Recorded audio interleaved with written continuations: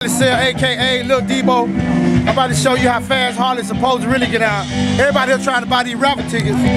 I'm gonna show y'all what y'all really supposed to do with that rapper ticket money. Yeah. Come on, follow me. What you really supposed to do with this rapper ticket? What you supposed to Then what you supposed to do with it?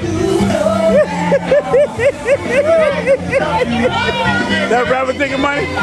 That what, Rapper ticket money. that what you do to it? What you do with that rapper ticket money.